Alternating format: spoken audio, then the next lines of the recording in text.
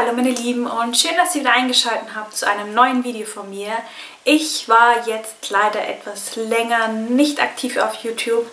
Ähm, hat keinen bestimmten Grund. Ähm, ich hatte einfach keine Zeit, keine Motivation und ja, in der Zeit hat sich aber einiges angesammelt und deswegen starten wir jetzt gleich wieder mit einem Haul durch und ähm, es sind tolle Sachen dabei und ja, ich hoffe ihr freut euch und bleibt dran und jetzt starten wir mit den ersten Produkten. Ja und ich würde sagen, wir starten gleich mit dem hier und zwar ist es ein Gewinnspielpreis, den ich gewonnen habe bei der lieben Sarah auf dem Kanal Sarah Sensitiv. Ich verlinke euch den hier oben einmal. Schaut auf jeden Fall bei der lieben Maus vorbei, sie macht ganz, ganz tolle Videos und ja, sie hat mir noch ein paar, also das kleine Paketchen hier äh, ist ein Goodie im Endeffekt. Da hat sie mir einfach drei Duplos dazu gegeben. Dann so eine Peel-Off-Maske von Balea. Und noch eine Maske von...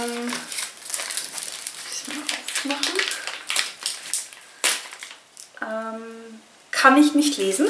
Also ich kann es nicht genau lesen, von wem diese Maske hier ist.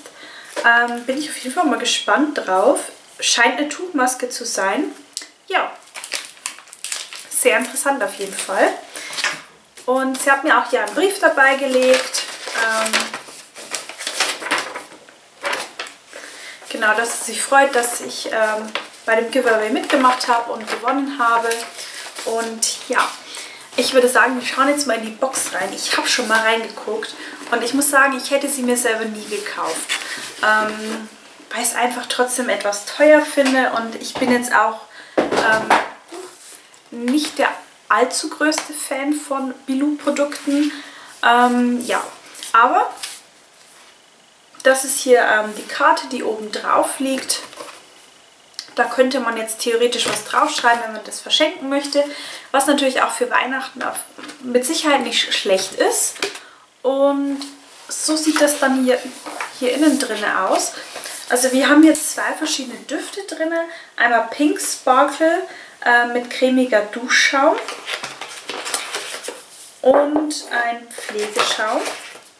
Ich hole die mal schnell raus. Und Silver Sparkle. Genauso Duschschaum und ähm, Cremeschaum. Und dann haben wir hier noch ein Handtuch drin. Und ähm, also da muss ich sagen, das ist richtig groß. Also es ist ein schönes großes Handtuch. Und das ist von der Marke Vossen. Also ich weiß nicht, ob euch das was sagt, aber die sind eigentlich nicht schlecht von der Qualität her. Und ja, da hat man ein schönes großes Duschtuch, was ich auf jeden Fall für den Preis schon mal richtig cool finde. Und dann haben wir einmal hier diese Silber-Düfte. Ähm, Ja, man kann jetzt so ähm, nicht viel rausriechen, das muss man einfach ähm, ausprobieren. Und genauso bei den Pink Sparkle. Ich denke, das wird ein bisschen fruchtiger riechen. Ja, also wie es genau duftet, finde ich, kann man erst unter der Dusche feststellen. Bleiben wir bei der Drogerie, gehen wir zur Badewanne und da habe ich mir dieses tolle Teilchen hier mitgenommen. Tee bei TTZ, Bratapfelzimt, gebrannte Mandeln, meine Kuschelzeit sieht so aus und Leute, das riecht so mega geil nach Weihnachten.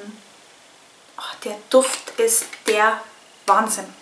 Ganz, ganz toller Duft und ähm, freue ich mich auf jeden Fall schon, den mit in die Badewanne zu geben. Ja, eine Seife dufte mal wieder mit. Da gab es 20-fach Punkte bei Pape ähm, Back und da habe ich mir die Palmolive mitgenommen. Ähm, die Aloe Vera Hygiene Plus bin ich mal gespannt, wie die ist. Die hatte ich nämlich noch nicht. Von Rosens habe ich mir wieder mitgenommen mein Rosenwasser. Das andere ist fast leer, deswegen durfte das hier auch wieder mit. Und die sind mittlerweile auch günstiger geworden bei DM. Ich glaube, die kosten jetzt keine 14,95 mehr, sondern nur noch 13,95. Von New habe ich mir zwei Produkte mitgenommen. Und zwar ähm, Cookie in the Jar.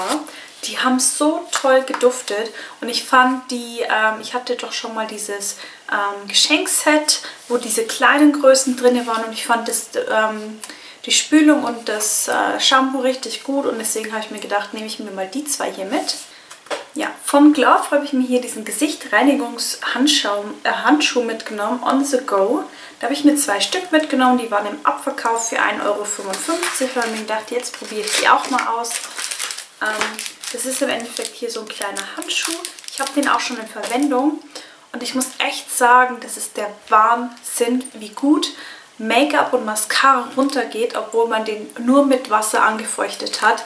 Ganz, ganz toll. Hätte ich ehrlich gesagt nicht gedacht. Mit dem geht es so super.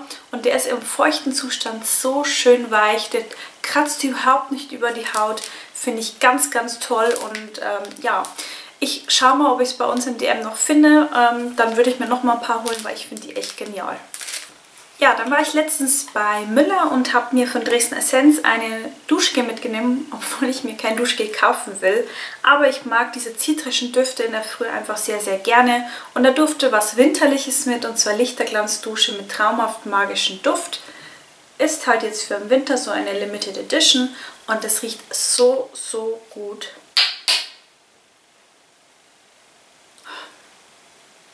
So ein schöner, warmer, fruchtiger Duft mag ich sehr, sehr gerne. Ja, und dann hatten wir diese Woche eine Weihnachtsfeier von unserer Firma aus und da hat jeder so ein kleines Geschenk bekommen. Das konnte man sich selber aussuchen.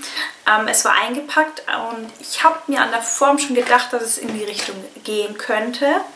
Und ja, ich habe dieses Geschenkset hier bekommen, ähm, auch von Dresden Essenz und ähm, da ist das gleiche Duschgel nochmal drin. Hier ist einmal nochmal dieses Duschgel drin. Hätte ich das gewusst, hätte ich das andere nicht gekauft. Aber woher soll man sowas wissen? Und ja, passend dazu gibt es aber jetzt eine Bodylotion. Und zwar Lichterglanz Bodylotion mit einem praktischen Pumpspender, was ich auch super toll finde.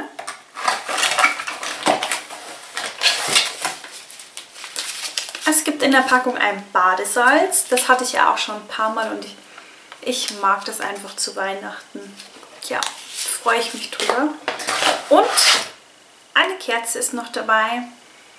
Und die riecht so schön zimtig, weihnachtlich, ganz, ganz toll. Und ist hier so ein schönes, großes Teelicht, was man sich anmachen kann, in die Badewanne gehen kann. Das Duschgel rein, äh, das Duschgel rein, sage ich schon. Das Badesalz rein und ja, dann danach mit der tollen Bodylotion auch noch eincremen. Ja, ja. mein Duschgelverbot was heißt Verbot. Ähm, das hat mich aber sehr, sehr angesprochen und ich bin ein paar Mal dran vorbeigegangen, aber letztendlich wollte ich es mir doch holen und es ist dieses ähm, Duschmus hier, Oh Dear, Duft von warmer Vanille und Tonkabohne und es ist so ein toller Duft. Ich habe den schon ausprobiert. Typisch für Nivea, einen richtig schönen weichen Schaum, gefällt mir richtig gut. Die Vanille und die Tonkabohne, das ist so ein schöner Duft passt genau in den Winter und ja, das Packaging ist halt einfach ein Traum. Damit kriegt man mich natürlich immer, aber ja, der musste mit und ich habe viele andere stehen lassen, die mich wirklich angesprochen haben. Also da muss ich sagen, da reiße ich mich momentan doch schon sehr zusammen. Ja, im Ausverkauf bei DM habe ich mir diese zwei Masken hier mitgenommen. Das ist einmal Ginseng Berry, ähm, ich glaube so eine Anti-Aging-Maske soll das sein ähm, zum Falten auffüllen mit diesem süßen kleinen Bärchen hier drauf. Und einmal Propolis Rose Colors Mask äh, für ähm, Feuchtigkeit und Glanz. Das ist diese hier mit dieser süßen Biene drauf. Gefällt mir auch richtig, richtig gut. Und ja, bin ich auf jeden Fall mal gespannt, wie die hier so sind. Und es durften noch zwei Masken mit, und zwar diese hier. Ähm, bei Balea haben es mal wieder geschafft, hier eine Tuchmaske rauszubringen mit diesem süßen Rehgesicht drauf. Tuchmaske Be Cute, beruhigende Pflege mit Hagebuttenextrakt für jeden Haartypen. Und einmal die Tuchmaske Be Foxy, erfrischende Pflege mit Kastanienextrakt. Ja, und die zwei mussten einfach mit, weil mich das Design einfach mega angesprochen hat. Ja, dann habe ich noch ähm, vier Produkte, die ich schon etwas länger habe, wo ich echt hinterhergerannt bin. Ich glaube, da ist wirklich jeder hinterhergerannt. Und zwar ähm, die Hatice Schmidt Collection von Love. Da habe ich einmal die Wimpern Berlin, die Wimpern Istanbul. Das sind diese hier. Ähm, die muss ich auf jeden Fall noch ausprobieren. um zu testen, ob sie mir gefallen oder nicht. Sind natürlich schon sehr, ähm, ja, extravagante Wimpern, würde ich sagen. Also ist jetzt nichts für den Alltag, meiner Meinung nach. Gefallen mir auf jeden Fall richtig gut. Und ähm, es durfte auch der Hatice Schmidt ähm, Bronzer mit. Den verwende ich auch schon fleißig, wie man hier sehen kann. Und ja, mag ich richtig gerne. Und wenn der Restock kommt nächstes Jahr, werde ich mir hier auf jeden Fall nochmal ein Backup sichern, weil den finde ich echt schön von der Farbe her. Und das letzte Produkt aus dieser ähm, Collection ist natürlich die Palette. Mit der, muss ich ehrlich sagen, habe ich jetzt noch nicht so viel rumgespielt. Ich finde sie auf jeden Fall sehr, sehr schön. Sie hat richtig schöne Farben. Sieht so aus. Und so sieht das Ganze hier von innen aus. Und was ich auf jeden Fall jetzt schon verwendet habe, sind diese Brauntöne. Also ähm, diese hier, den hier. Die farbigen Töne habe ich jetzt ehrlich gesagt noch nicht verwendet. Mit denen muss ich einfach noch mal ein bisschen spielen. Ähm, aber so, die Farben gefallen mir richtig, richtig gut und ich freue mich schon, mit der einfach mal ein bisschen rum zu experimentieren. Aber ich habe in letzter Zeit sehr, sehr viele neue Paletten bekommen. Was heißt bekommen? Ich habe sie mir ähm, zugelegt, weil sie mich einfach alle angesprochen haben. Und ja, deswegen ist die hier noch ein bisschen zu kurz gekommen. Aber wie gesagt, demnächst wird die hier auf Herz und Nieren getestet. Und ja, auch hiervon wird im nächsten Jahr ein Restock geben. Das hat der Hatice und Love angekündigt. Und ich glaube, da werden sich einige drüber freuen und einige werden sich auch nochmal Backup sichern, glaube ich. Ja, dann wurde ja auf der Glow in Berlin, glaube ich, war sie das letzte Mal, äh, von Catrice eine neue Collection mit Mickey Mouse vorgestellt. Und als ich das gesehen habe in den Glow Vlogs, habe ich gesagt, die brauche ich, die möchte ich, die will ich. Ähm, die Lidschattenpalette hatte ich mir auch angeguckt, aber ich habe die Entscheidung getroffen, da ich sehr, sehr viele Lidschattenpaletten den und letzten Monat äh, eingekauft habe, das heißt die Norwina Palette, die Gingerbread Palette, die kleinen Too Faced Paletten. Dann hier oben das Set, was ich von meinem Freund zum Geburtstag geschenkt bekommen habe. Es sind wirklich sehr, sehr viele Paletten eingezogen. Ich habe hier noch zwei, glaube ich, äh, die ich euch dann noch zeigen kann. Und ja, es ist auf jeden Fall die Blush Palette geworden oder die Face Palette heißt sie. Das Design ist einfach nur ein absoluter Hingucker. Es ist so niedlich, mir gefällt es so, so gut. Einfach weil es so schön schlicht ist, aber die Mickey Mäuse so in diesem Gold gefällt mir einfach. Und man klappt die hier praktisch auf. Und hat dann die, ähm, den Blush, den Bronzer dann hier so einen goldenen Highlighter und den ähm, Champagnerfarben Highlighter, wo auch die Mickey Maus eingestanzt ist. Gefällt mir richtig, richtig gut. Und ich möchte die Mickey Maus eigentlich gar nicht anfassen, muss ich ganz ehrlich sagen. Ich werde sie noch ein bisschen unberührt lassen. Und irgendwann äh, werde ich sie verwenden. Sie gefällt mir auf jeden Fall richtig, richtig gut. Und ich freue mich, dass ich sie hier bei mir in meiner Sammlung begrüßen darf. Ja, es ist jetzt schon etwas länger her, da habe ich Katharina angeschrieben vom Kanal Kal äh, Kalinka, wollte ich schon sagen, Dalinka. Ich verlinke euch den auch hier oben nochmal. Und zwar hat sie ein bisschen ihre Kosmetiksammlung aussortiert und festgestellt, sie braucht eine Palette nicht und mich gefragt, ob ich die gerne hätte, ob wir da was tauschen könnten. Und ja, da habe ich natürlich nicht Nein gesagt, denn es ist dieses Morphe-Palette. Es ist meine erste Morphe-Palette. Und es ist die T, nein, die 35T, so nennt sie sich. Die kommt hier so daher. Und äh, ich glaube, Katharina hat die wirklich fast gar nicht verwendet. Ich habe die jetzt schon ein paar Mal verwendet. Ähm, sie gefällt mir richtig gut. Ähm, wenn man die Farben swatcht, ich swatche euch jetzt einfach mal. Die sind butterweich, also wirklich richtig toll.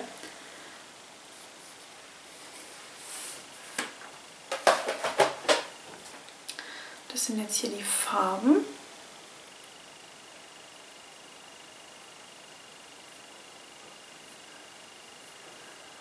Also so sehen die Farben hier aus. Richtig, richtig schön. Schöne Alltagsfarben vor allen Dingen. Also gefallen mir richtig gut.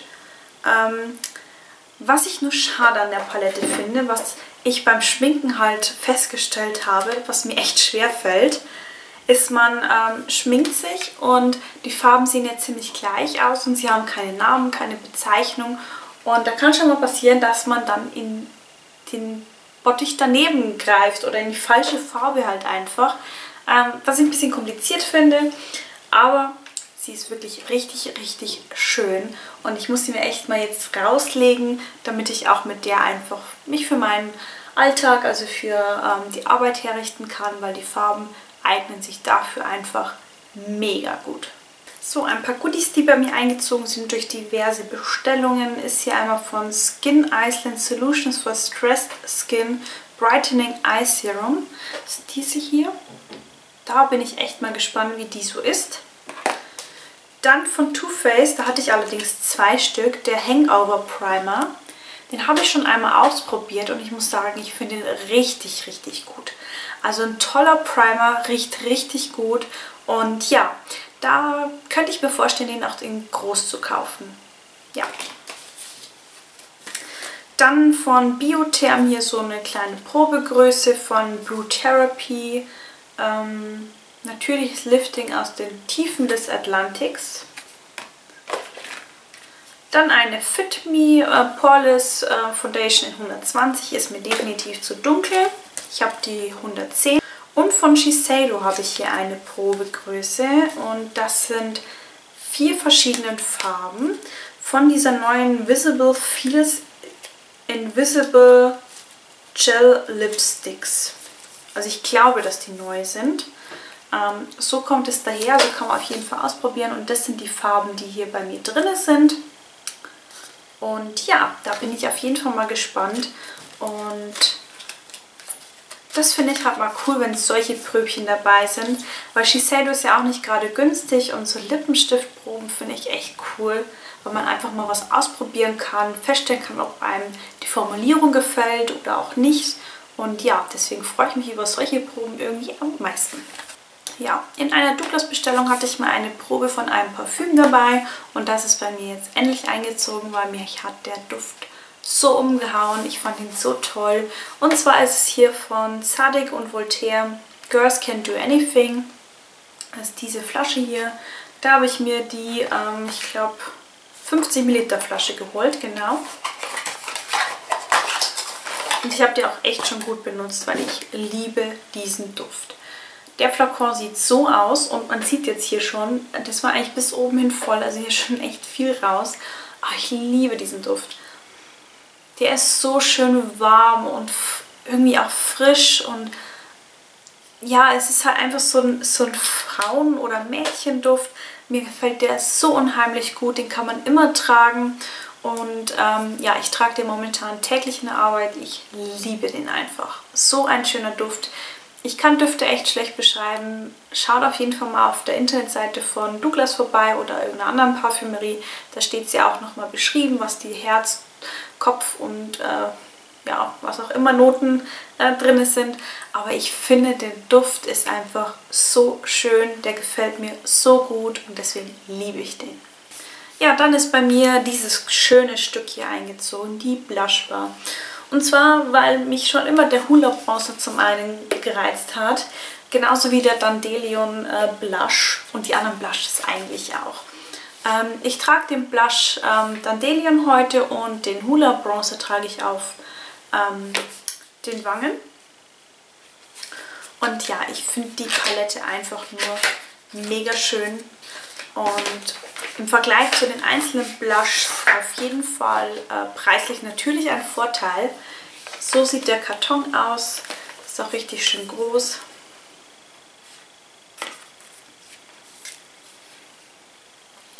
Und so sieht das hier innen drin aus. Ähm, ja, der Pinsel, der hier dabei ist, mit dem habe ich schon versucht, hier Bronze aufzutragen, mag ich nicht. Also muss ich ganz ehrlich sagen, ähm, den kann man sich meiner Meinung nach sparen. Ich komme mit dem nicht zurecht. Und ja, den Hula Bronzer und den Dandelion Blush habe ich auf jeden Fall schon verwendet. Den Rockateur habe ich auch schon einmal verwendet. Finde ich auch schön. Und ja, die anderen beiden noch nicht, weil ich einfach... Ja, ich finde einfach die Prägung so schön und ja, das wäre schade irgendwie die jetzt schon zu zerstören. Auch wenn das ein bisschen blöd klingt, aber ja, ihr kennt das wahrscheinlich und ja, mir gefällt es einfach so, so gut. Bin so froh, dass die bei mir eingezogen ist. Und ja, da habe ich echt schon lange überlegt, also letztes Jahr auch schon und ja, jetzt ist es endlich soweit gewesen. Kommen wir zum nächsten Schmuckstück, was bei mir eingezogen ist. Und zwar ist es diese Palette hier. Ähm, es ist vom MAC aus der LE Shiny Pretty Things Face Compact Fair.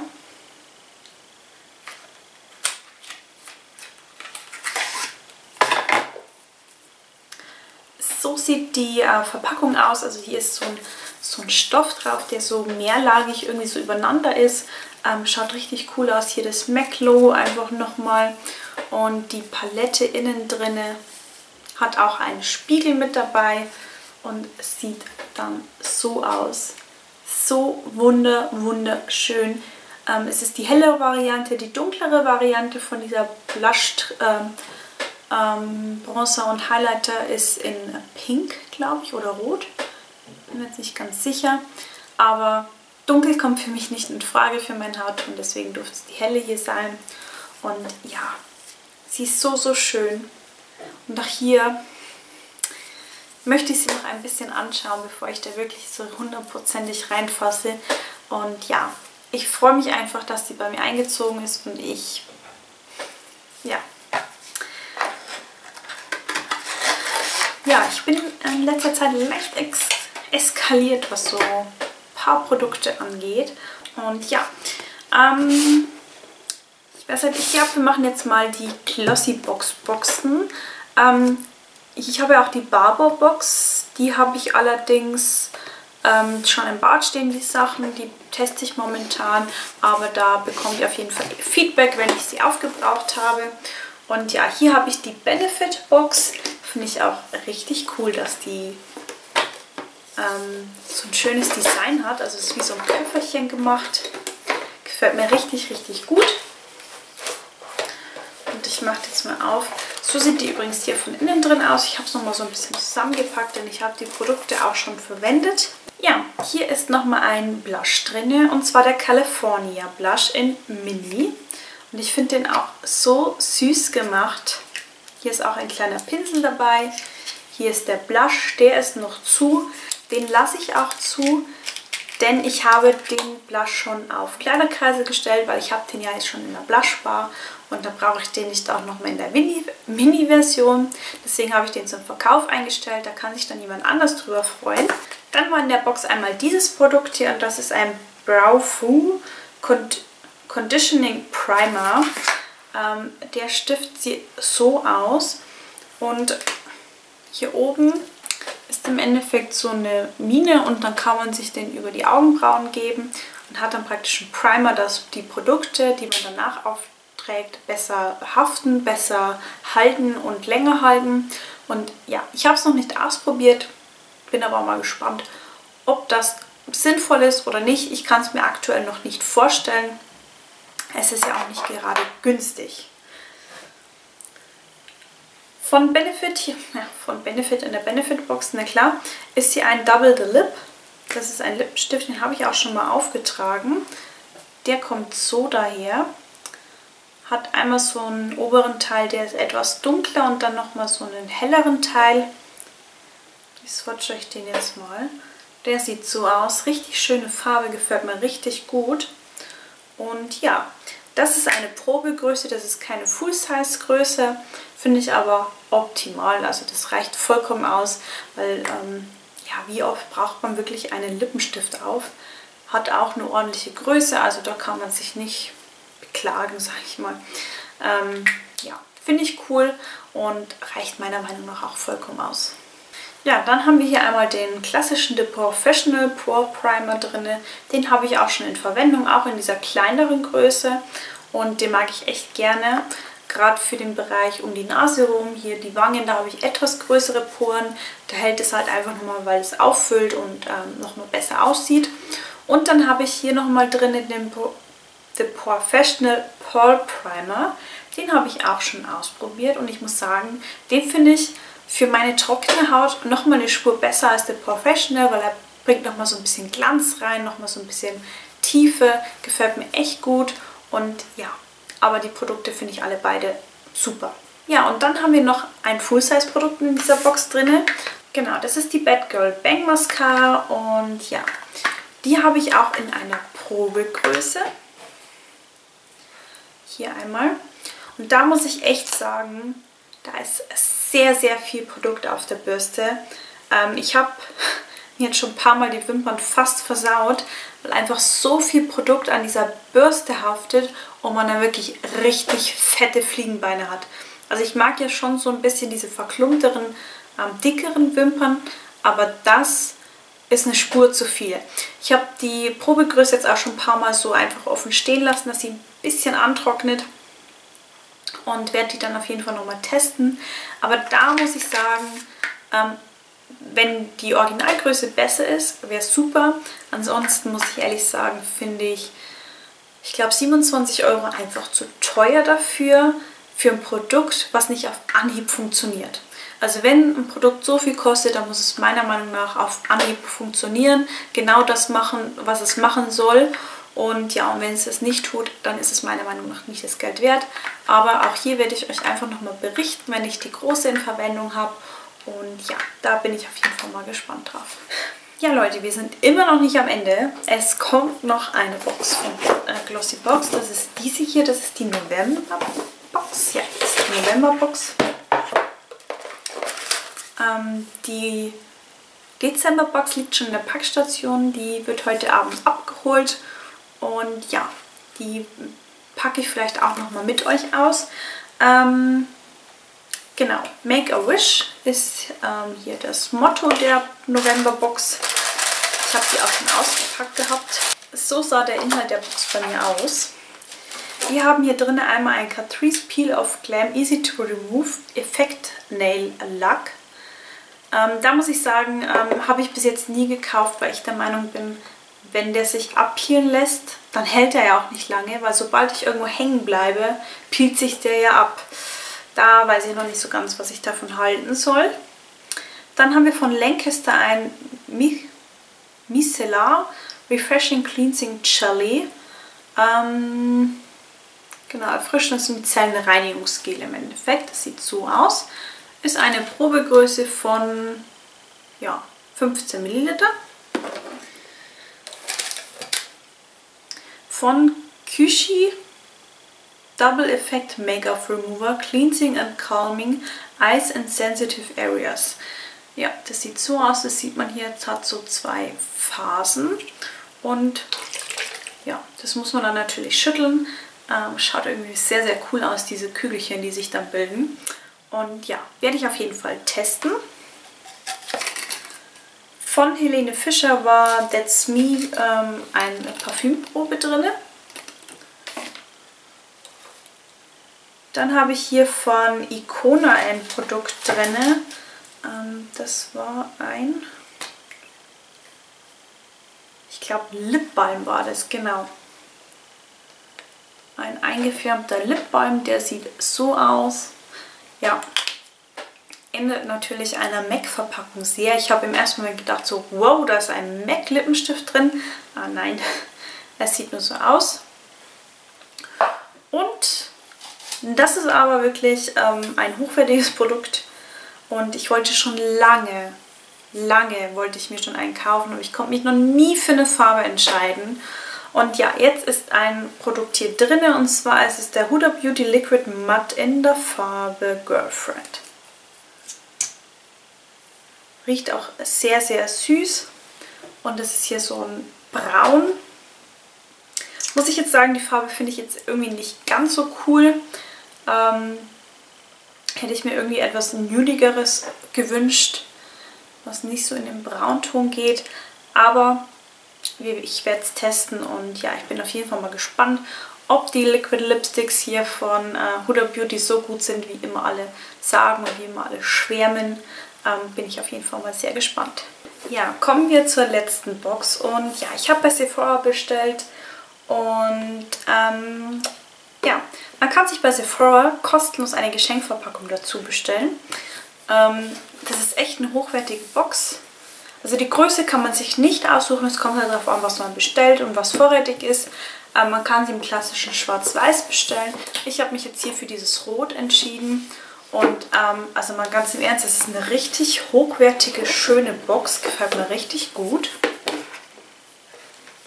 Und ja, ich habe ein paar tolle Schätze bei Sephora bestellt. Und ähm, ich würde jetzt sagen, wir starten jetzt mal mit den Goodies, die dabei waren. Und zwar zum einen war hier dieses Ringlicht dabei. Ähm, das gab es gratis. Kann man halt hier in so drei Stufen ähm, aufs Handy drauf klipsen und dann hat man das perfekte Selfie-Licht. Es war eine Mascara dabei, die trage ich auch heute und die finde ich richtig, richtig gut. Was ich gerade auch schon bei der Benefit Mascara gesagt habe, äh, man erwartet von der Mascara einfach, dass sie funktioniert, wenn ich sie aufmache. Und das tut diese hier. Also wir haben hier ein richtig schönes Gummibürstchen dabei. Die trennt die Wimpern, die füllt die Wimpern auf. Sie gibt Länge und ja, gefällt mir richtig gut. Finde ich jetzt schon besser als die Bad Girl Bang Mascara. Noch ein Goodie, was dabei war, was ich auch schon auf den Augen trage, ähm, ist hier die Huda Beauty ähm, Topaz Obsession ähm, Palette. Die gab es gratis dazu ab einem Einkaufswert von 100 Euro. Die anderen Produkte waren nicht an einen Einkaufswert ähm, gebündelt und die sieht so aus. Richtig, richtig schöne Farben und ähm, die Qualität ist echt mega gut. Und ja, mir gefällt auch der Look damit sehr, sehr, sehr gut. Ähm, ja, ich denke, ich werde mir hier noch die grüne und die blaue Palette holen, weil die interessieren mich doch schon sehr, weil es mal was anderes ist und die Qualität von den Lidschatten ist wirklich richtig gut und da bin ich echt schon jetzt am überlegen, ob ich mir die Nude Palette holen soll oder nicht. Ähm, aber da bin ich noch ein bisschen am Hader mit mir, weil es doch sehr, sehr, sehr viel Geld ist. Aber die gefällt mir schon mal richtig, richtig gut. Dann eine Palette, mit der ich heute eigentlich angefangen habe, mich zu schminken, aber irgendwie bin ich mit der noch nicht warm geworden. Und zwar ist es hier diese Becca The oder Volcano Goddess Palette. Die ist richtig schön. Also die gefällt mir wirklich gut. Und ja, ich finde es ein bisschen schade, weil vom Swatchen her war die echt mega gut. Ähm, ich will euch nicht blenden. So sieht die Palette aus. Richtig, richtig schöne Farben. Und das Gold ist geswatcht, mega schön, aber auch mega glitzerig. Und ich muss mit der wirklich noch ein bisschen rumexperimentieren. Ich zeige euch jetzt gleich mal die Farben. Also so sehen die Farben hier aus. Echt schön und auf dem Swatch gefällt mir die auch richtig, richtig gut. Und ja, aber mit dem Pinsel aufs Auge getragen ich weiß ich muss noch ein bisschen rumexperimentieren. Ich glaube nicht, dass die schlecht ist. Ähm, ja. Aber ich habe sie mir echt wieder abgeschminkt, weil es mir nicht gefallen hat. Es hat sich nicht schön verblenden lassen irgendwie. Diese Schimmerlidschatten haben sich nicht schön verblenden lassen. Und ja, ich habe mich damit nicht wohl gefühlt und deswegen habe ich es mir abgeschminkt und dann die Huda Beauty verwendet. Und ja, aber ich probiere es und irgendwie werde ich mit der zu einem Ergebnis kommen. Aber Sie hat mich jetzt auf dem ersten Ausprobieren auf dem Auge nicht gecatcht. Also da, also da gibt es mit Sicherheit bessere. Also was heißt mit Sicherheit? Es gibt bessere. Kommen wir zum nächsten Produkt, was ich auch schon auf den Lippen trage, allerdings mit einem Lip Liner darunter. Und zwar ist es ein Lip Gloss von Fenty Beauty, die Gloss Bomb. Sieht so aus und das ist die Farbe Fussy.